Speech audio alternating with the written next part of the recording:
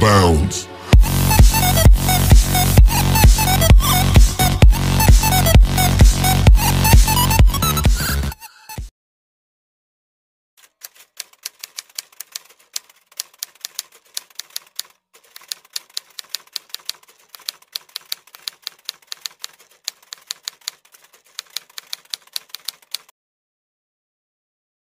Hello guys! Welcome back po sa ating channel.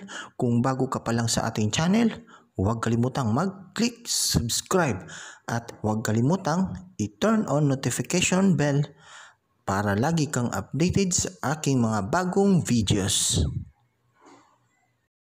So hello guys! What's up? Welcome back po sa ating channel. Ah, pag-uusapan natin ngayon yung bagong promo ni Dato. So yung Dato promo ngayon na nasa app nila is naka 25 gig limited for 199 pesos. So sa ngayon as of June 11, so yung promo ng dito is wala pang pagbabago. Pero ayon sa page ng dito telecommunity, may bago silang balita na sila mismo ang nagpo-post nito. At ang sabi nila ay something big is coming dito. Can you guess? So, tila nagpaparinig si dito telecommunity na may bago silang promo at pinahula ito ng mga uh, netizen. So, ayan nakalagay. So, sa tingin nyo, ano kaya yung uh, ilalagay natin dyan? Pwedeng only data o only dito.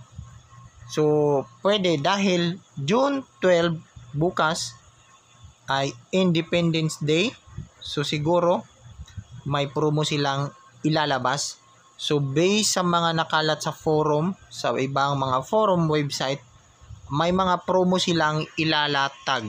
So ito yung mga bagong promo nila kung totoo nga ba to. So ayon sa description ng ibang forum, so ito yung sinabi na dito only 499 it comes with unlimited data for days for only 499 pesos. So, ayan. So, it has high-speed data for first 2 gig data and up to 5 Mbps speed.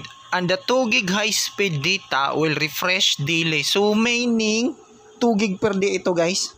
Magre-refresh siya araw-araw yung 2 gig natin. At ang promo na ito will come with unlimited text to all networks. So, pwede siya sa lahat ng network unlimited text siya. An unlimited dito to dito call. So, may pangtawag din siya. For dito to dito only. And 300 minutes of calls to other mobile networks. So, hindi na masama yung bagong promo nila. So, as of now, yung promo nila is from June 12 to June 18. So, June 12 to 18 lang guys, no? Yung bagong promo nila. So, dito 99 can be availed via the Dito app dito only 499 is exclusively available on the dito Shopee and Lazada pages. So doon lang po mabibili yung uh, bagong promo ng dito sa Shopee and Lazada page. So yung dito 99 available lamang sa dito app. So doon lang natin ma-avail yung uh, dito 99 sa dito app.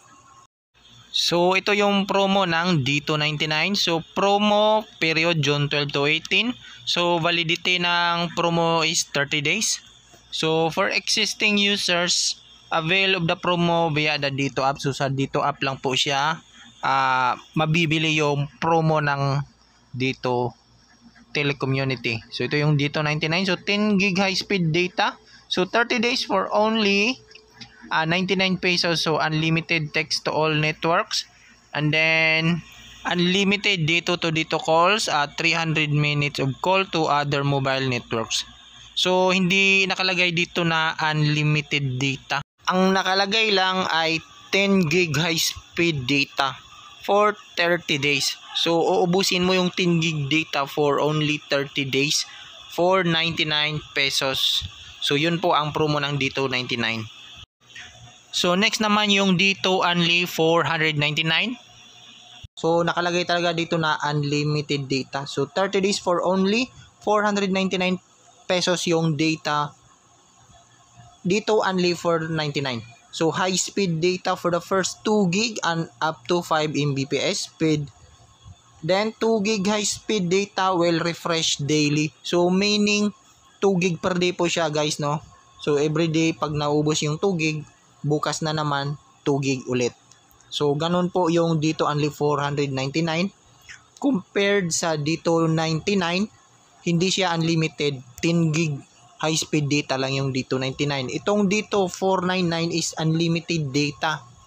Pero 2 gig per day lang po siya. So yun po.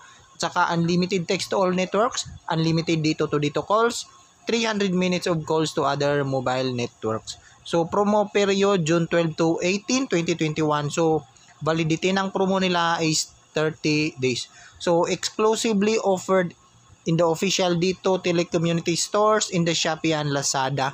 So, mabibili yung promo nila ng dito only for 9 sa Shopee lamang at sa Lazada store. So, wala po siya sa dito app. So, walang nakalagay na pwede ma-avail yung promo ng dito only 499 sa dito app. Ang ma-avail lang sa dito app is yung dito 99. So, yun lang po guys, no? hanggang dito lang tayo. So mag-comment lang kayo kung anong masasabi nyo sa bagong promo ng dito. Thanks for watching. A like would be appreciated. And don't forget to subscribe.